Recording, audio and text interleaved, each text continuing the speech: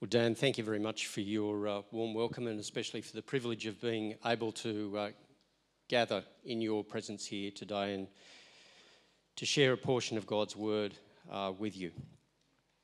The reason I'm here is because I believe that uh, this particular movement plays a critical role in the national affairs of Australia, and uh, I'm glad to support it and to be a participant here today. Uh, just before we begin, May I open in prayer with you? Let's pray. Our Father, we pray this morning as we come before your precious word that that word would be our rule and our guide, the Holy Spirit, our teacher, and your greater glory, our supreme concern. And we ask it in Jesus' name. Amen. Now, the Australian Christian Lobby is a grassroots movement that consists of over 100,000 people who want to bring a Christian influence to all the major spheres of our national life, especially uh, in the areas of business, politics, and the social order. The question is how does one do that in a distinctively Christian way? Uh, fortunately, some who have gone before us have attempted to answer that question, and they've left us some very valuable clues. One of them was uh, William Wilberforce, a British parliamentarian in Britain from 1780 until the 1830s, and he reflected deeply on these matters. In 1797, after 17 years as a member of the parliament, he wrote what has become a Christian classic on the intersection of the Christian faith with the, uh, the political, economic, and social order of a country. It's entitled A Practical View of Christianity. Actually, that's its abbreviated title. The original one, uh, I suppose in the Puritan tradition, was much longer. Interestingly, its impact was instantaneous it immediately scandalized the established church and uh, remained one of the best read books for the next 50 years until around the 1850s. Garth Lean, who is one of Wilberforce's uh, biographers, says of this book it was read at the same moment by all the leading persons in the nation and sent an instant electric shock throughout English society.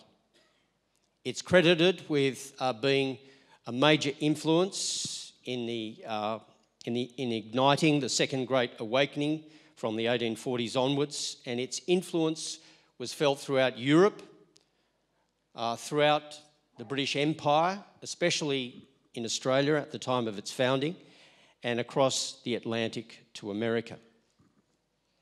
So, what was its central message? I think it's this. If we want the new life of Christ to transform us and to permeate and influence the society in which we live, it will only happen as Christians give their full attentions to what Wilberforce described as the peculiar doctrines of Christianity. And he named them human corruption, atonement by Christ, salvation by faith alone, new birth by the Holy Spirit. And he said, It is only as Christians preoccupy themselves with these peculiar and core truths that Christ died for our sins, he rose to justify us, and sends his Spirit to unite us to himself so that our hearts are changed, our minds renewed, and our lives transformed, that we will ever be an influence in our culture. It's only as we live in union, he said, with Jesus Christ, the source of all spiritual blessing, that we will produce true fruit, fruit that remains, and not simply be the purveyors of moralisms. This, he said, is the only lasting way to genuinely influence a culture.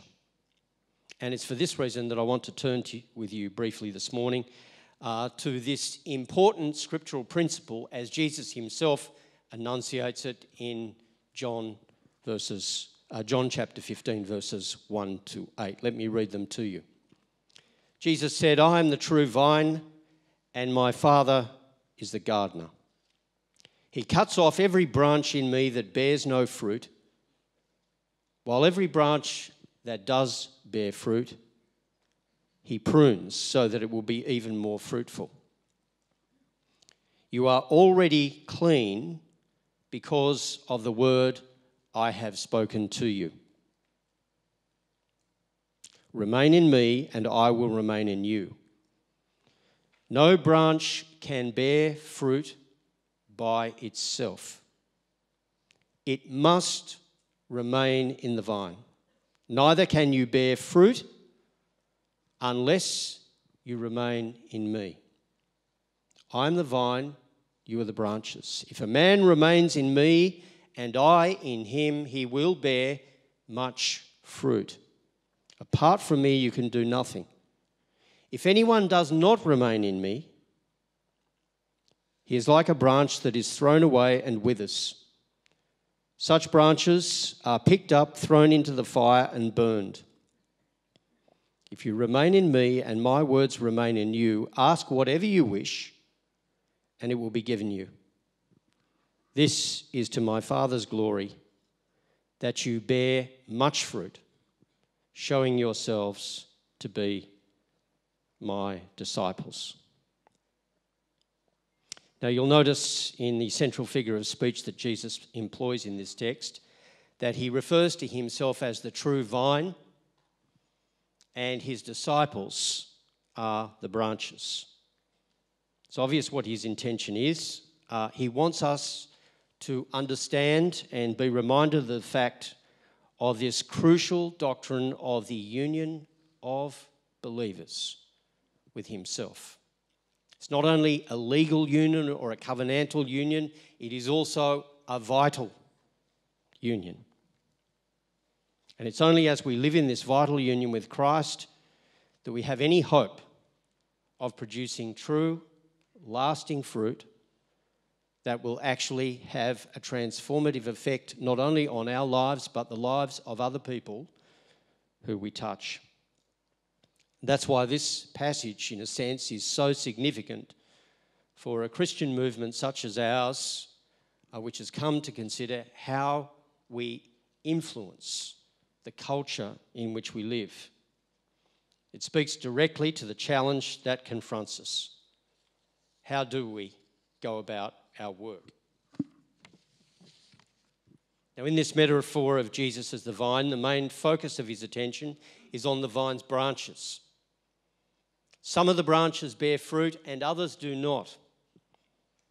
Both sorts of branch appear to be connected to the vine, but there is only one sort of branch that bears fruit. The branch without fruit is lifeless and is not connected to the vine. It appears to be, but it never produces anything. And in the context of the upper room discourse, where this speech takes place. Jesus has in mind a man who has just exited the room because he's shown himself to have no lasting fruit in his life.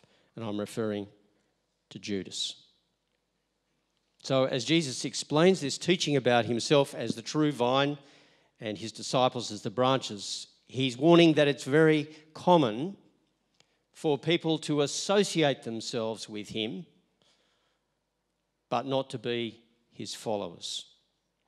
They have the appearance of life, but in fact, they're dead. And since that was true of Ju- Judas, uh, Jesus instructs his disciples with the memory of Judas leaving the Last Supper, with that uppermost in their minds. I think he's pleading with each one of us as disciples make sure you are a true branch. Now, notice that both of these branches appear to stand in close relationship to Christ. Judas was appointed to a very important administrative role amongst the ten. He was regarded as one of the most trustworthy of the disciples. And the lesson, I think, for us is that not everyone who believes in Christ is actually a follower. Uh, we read in the Gospels that while there were many people who were interested in associating with Jesus, uh, not everyone was a disciple who was prepared to carry his cross. In other words, I think we've got a reminder here that Jesus is saying it's one thing to be a church member, it's another thing to be a true disciple and to have your name in the Lamb's book of life. So, the call of Christ is a call to union with Him with respect to His life and His mission. And He's reminding us that it is far more than just a decision or praying a sinner's prayer. Now, notice that the distinguishing mark of a true branch is that it actually draws life from the vine and a dead branch does not. But it's even more than that. The true branch actually bears fruit, it produces fruit. Fruit is the sign of its life. Now, lest you think that I'm about to sneak in the doctrine of good works here uh, through the back door, I, I, don't want to dismay you. Uh, that's not happening. But rather, what he is saying is that this fruit is the direct result of being grafted into Christ. We don't produce the fruit of ourselves, it's something that happens to us as a result of being united with Him. As Paul says in Ephesians 2:10, we are God's workmanship created in Christ Jesus. We're given new life in Christ Jesus. Why? To do good works, which God himself prepared for us beforehand to walk in. Elsewhere he said, every good tree produces good fruit. You shall know them by their fruits. That's why Calvin famously said, we are saved by faith alone. But the faith that saves is never alone, it's always accompanied by fruit. There will always be fruit in the life of a person who's in living union with Christ. Did you realize that 24 out of the 27 books of the New Testament have got specific references to this doctrine of spiritual fruit? Every one of Paul's letters mentions it. It's an old concept, Old Testament concept as well. The blessed man in Psalm 1 is described as a tree planted by streams of waters which yields its fruit in season.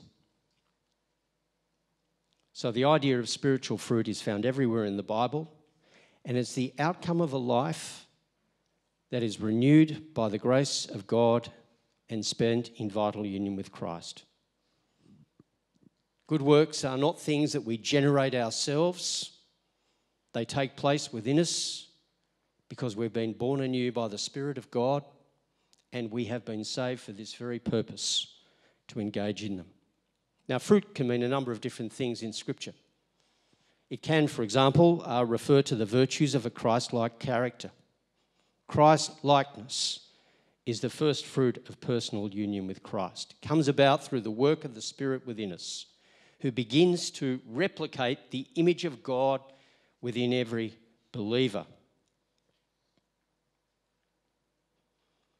It comes uh, through the Spirit who purges our lives from the works of the flesh and replaces them with spiritual characteristics love, joy, peace, patience, kindness, goodness, faithfulness, and self control. And as a believer remains in union with Christ and is renewed by the Holy Spirit, the Spirit develops these virtues in our life. But there are other kinds of fruit as well. One of them is thoughtful, edifying, and useful communication. In 1 Corinthians 14, Paul mentions some communication that, though well intended, does not help other believers. So it's got to be communication which is clarifying, profitable, and encouraging, especially about the things of God. If a movement such as this is to be life transforming, and influential in our culture, we need to be people who embody these very virtues and who relate to our wider society with words that people uh, remark upon, just as they did of Jesus when people wondered at the gracious words which came from his mouth. Notice also the fruit consists of good works. The Apostle Paul says to the Colossians, Live a life worthy of the Lord, bearing fruit in every good work. Remember, that was the mark of the Master. Peter, when he was preaching to Cornelius, said this You know how God anointed him, Jesus Christ, with the Holy Spirit and power, and how he went around doing good because God was with him. Is that a mark of the movement? Is it a fruit that's observed by virtue of our union with Christ?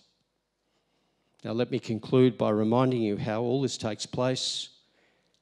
Paul tells us in verse, uh, Jesus tells us in verse 3 You are already clean because of the word I have spoken to you. Remain in me, and I will remain in you. No branch can bear fruit by itself, it must remain in the vine. And then in verse 7 if you remain in me and my words remain in you, ask whatever you wish and it will be given you. I simply want to conclude by reminding you of the importance of the centrality of the Word of God in our lives. This is the secret of the transformation. It's no surprise that William Wilberforce was a man of the word. To read his book, A Practical View of Christianity, demonstrates just how deeply he read Scripture and the extent to which it shaped his thoughts and especially his spiritual affections. Wilberforce knew in a way that very few others did that it was only the transformative power of the Word of God in the lives of Christians and in the lives of others that they touched that would actually make those momentous changes and transitions in society for which we long and pray. The Word is the thing that purifies us. The Word is the thing that not only transforms our minds but changes our habits and indeed the behaviour of a family and a nation. It's no surprise that Jesus prayed in his high priestly prayer Father, sanctify them in the truth. Your word is truth. It seems to me that if we as an organisation uh, wish to continue uh, our influence in the wider culture, we need to uh, have this watchword that was the watchword that was given to Joshua as he began his great mission. Do not let this book of the law depart from your mouth, but you shall meditate on it day and night. Then you will be prosperous and enjoy good success. Uh, my prayer for us as a gathering today and as part of a wider movement uh, is that we will be salt and light in our community, uh, largely because of our knowledge and our obedience to God's word. Thank you.